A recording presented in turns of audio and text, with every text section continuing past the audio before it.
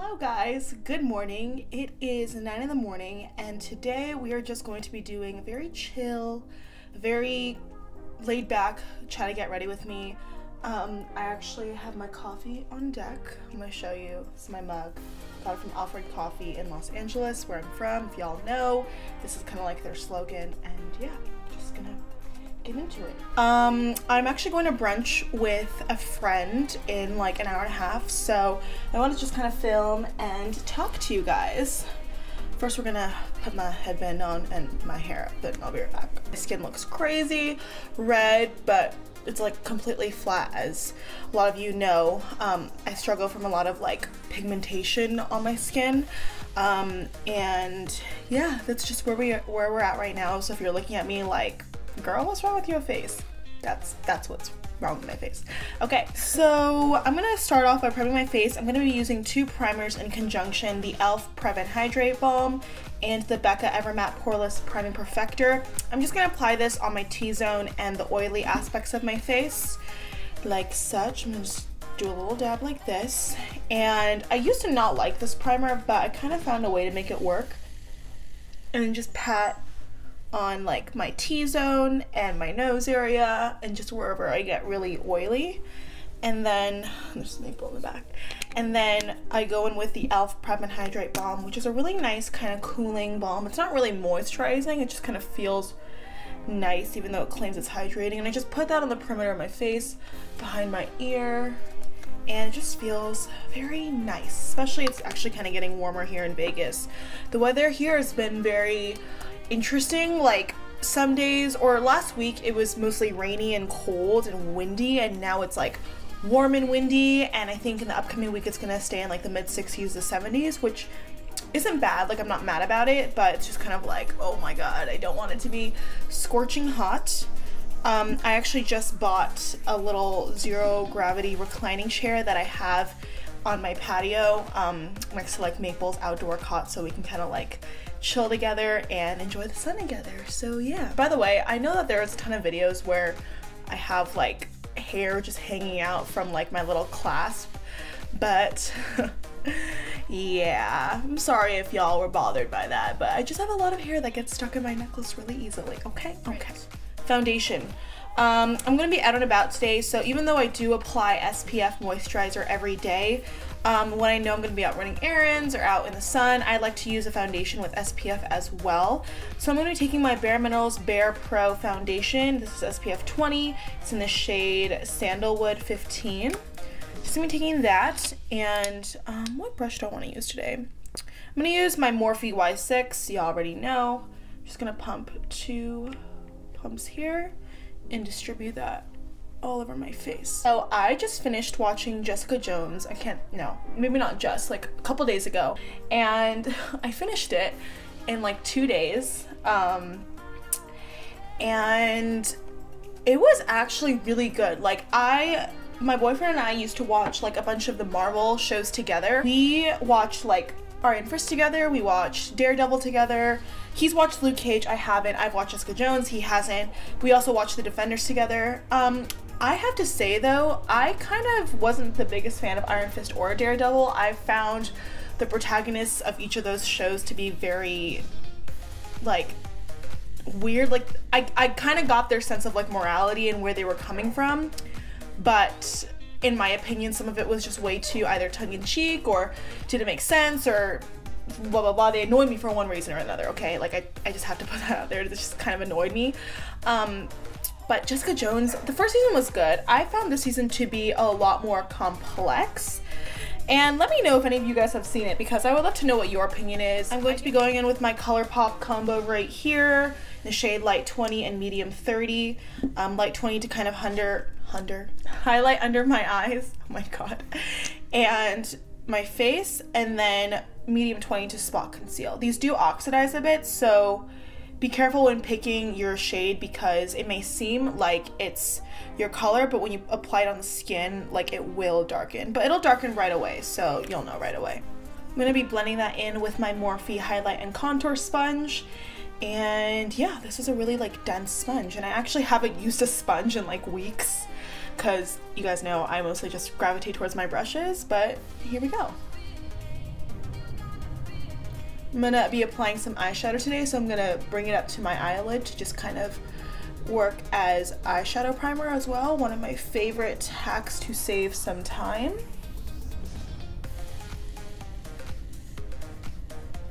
All right, and then I'm going to set my face with some powder. I'm gonna be using the Laura Mercier Translucent Loose Setting Powder. I haven't used this on my channel before, but as you can see, I'm like very much out. And there was like a lot of controversy going back and forth between whether or not Laura Mercier was cruelty free.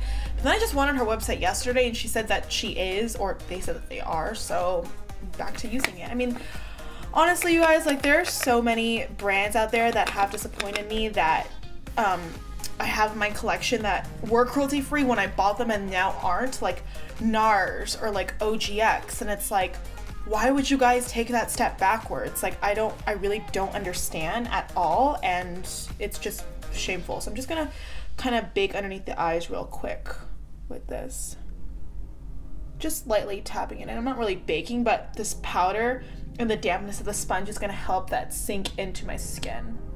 And for the rest of my face, I'm just going to take um, a loose setting or a loose powder brush. In this case, my EcoTools brush, you already know, and just sweep that all over my face. I will say, I know this powder is hyped. I bought it like a while ago um, because it was so hyped, but honestly, I don't think it's worth the money. It's a good powder. I'm not going to say it's not a good powder. It doesn't have flashback. It's very finely milled. At the end of the day, though, it still has talc, which is one of those products that I try to avoid, but I know, especially with cheaper products, I can't in powders. But this is like a $38 powder, and it still has talc in it, which is very confusing to me. Because like Cover FX is known for like not having talc, and even my hard candy powder that I got from Walmart doesn't have talc. So I'm just, I don't, I don't know why like they couldn't find an alternative. They say it's like milled with like French clay or whatever, but who knows. All right, we're just gonna finish up with the face real quick before I do my eyes because I'm just doing a really simple like eye look. I'm be taking my ColourPop and Alexis Ren um, Topaz Bronzer and Highlight Duo. I'm just gonna be taking this. This is called Golden Moment. I'm gonna be taking this BH Cosmetics 124 brush, just kind of dipping that in. There is some kick up and it is powdery, so you're gonna wanna make sure you go in with a light hand. But I actually just placed a bunch of orders on the Essence website and I got a, a lot of nail polishes from them. That's like literally the only thing I got from them. And um, the KL Polish website got Das Suspensive, which is a really pretty top coat. I love nail polishes and I'm always on the hunt for really good cruelty-free nail polishes. I have a ton of KL polish. It's like my favorite nail polish brand ever, but I wanted to venture out and try like Essence because they have really cheap but good quality nail polishes and also Kokie Cosmetics. I know that they have a lot of good nail polishes as well. So yeah, I'm gonna venture out and try some of those as well. And I also just ordered um, some Bath & Body Works Fine Fragrance Mist. Onto my nose real quick.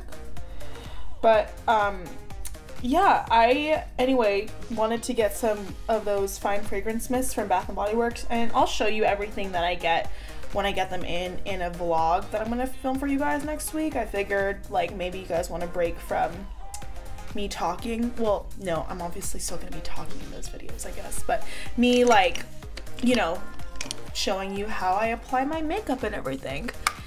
And yeah, I don't know, but hopefully I like them and I'm going to show them with you guys. Alright, for blush, I'm going to be going in with the Essence Satin Touch blush in the shade Satin Coral. I have the Satin Love blush, which is more of like a cool toned neutral pink, and this is more of like a coral, which are like my favorite shades, which is my favorite shade. It was singular. What, what am I doing? I'm taking my Morphe um, stippling brush that doesn't have a name and just blend that into my cheeks. Alright, I'm going to finish up my face with the highlight in this palette, the golden one. It's called She's Here to Stay. Be taking my Morphe R36, just swirling that, dipping that in here. I want to know what your guys' favorite brushes are. Like, honestly, I know I just did a video of, like, my favorite brushes, but I am always on the hunt. Like, I seriously don't know why. I have all these brushes that I have perform great. Like, they're all good brushes. because I've either taken them from other people's recommendations or I found them on myself and I was like, this is amazing, this is great. But I want to know what you guys like. Like, what are your favorite brushes? Um, right off the bat, I, if you say MAC or anything, I'm obviously not gonna buy it because it's not cruelty free, but they do have a lot of dupes that you can find from other brands. But there are a lot of brands that I haven't ventured into when it comes to brushes like Luxie or Zoeva or Smith or Sigma, and I want to kind of like dabble into those a little bit. Ooh, you can tell that highlight is very golden. Okay, now onto the eyes. I'm taking this Tarte Tartelette In Bloom palette. It's really travel friendly, good, staple, neutral palette. And I'm gonna start off with the shade, can I like Okay, this mirror like won't come down. and I don't want to blind you guys with the light. I'm going to start off with the shade Smarty Pants in my crease. Just this like light neutral shade right there. I'm taking my Morphe M504. Just washing that all into my crease. These shadows are pigmented, but they are very easy to work with. Also, I cannot believe it has been a year since I have had a vacation. I know that I mentioned in my video before, or one of my videos, that um, I went to Hawaii with my friend Sally and we had a great time, and that was like a year ago. I cannot believe it's been a year. Like, I think when we say time flies by, like, we, it's not like it feels like yesterday, but it just feels so familiar and so like it like it just happened, so to speak. Like not like yesterday, but it just feels so fresh. That's the word. Then I'm gonna take the shade Rebel. It's just like this really pretty mauvey shade.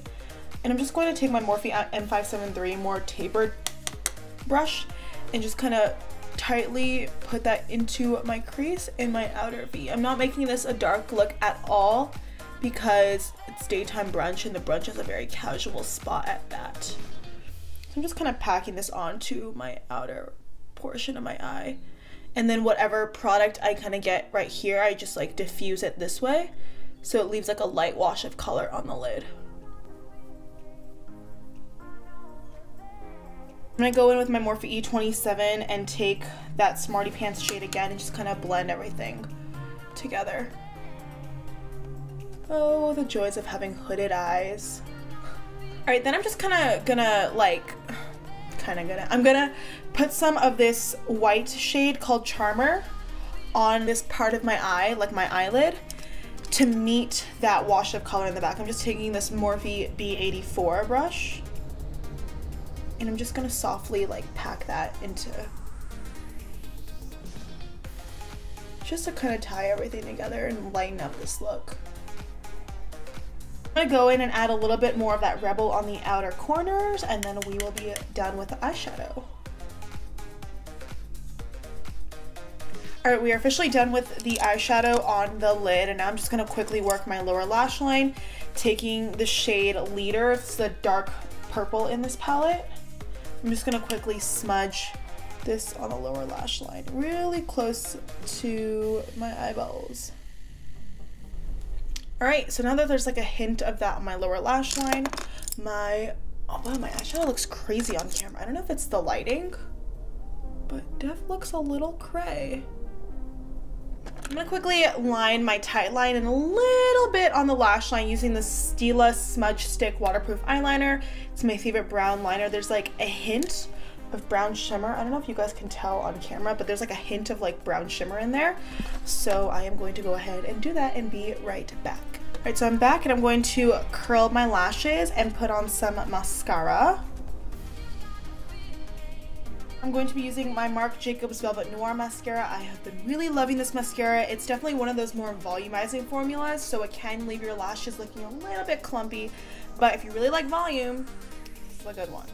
First, priming with my Urban Decay Subversion primer because can't can't not, you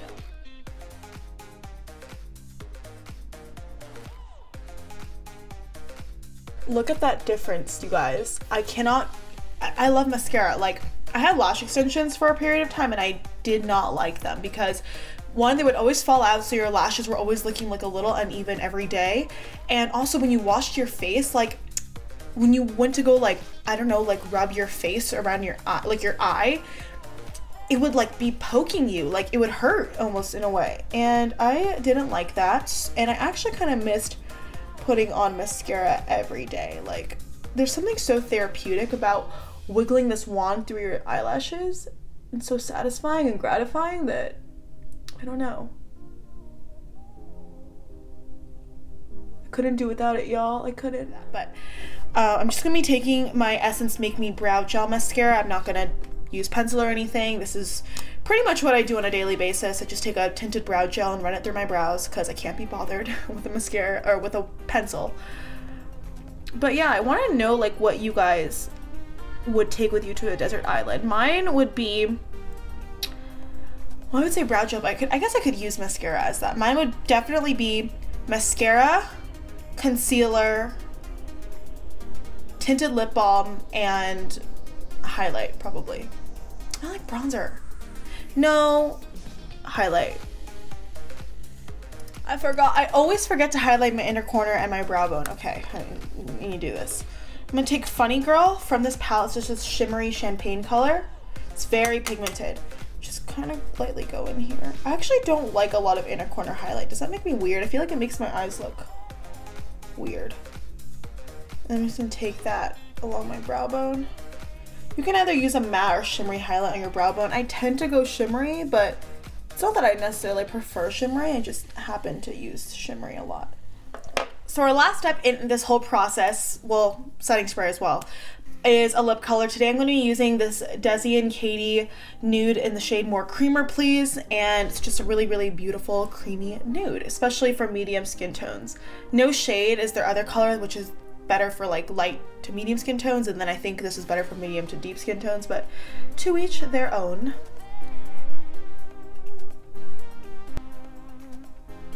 Now I'm just gonna last but not least set my face with the Kat Von D Lock-It Setting Mist.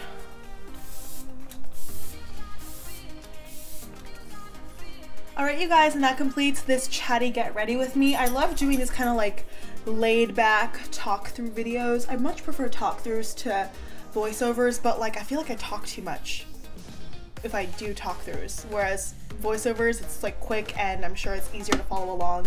But yeah, this is just like a simple kind of look that I'll be wearing to brunch today. And yeah, feel free to please leave me down below what you want to see next. Always welcome ideas, you know what I'm saying? But yeah, that's the end of this video, you guys. Thank you so much for watching. Um, I'd love it if you subscribed and give this video a thumbs up if you enjoyed it. But yeah, I hope you have a great day wherever you are, and I will see you in my next video. Bye.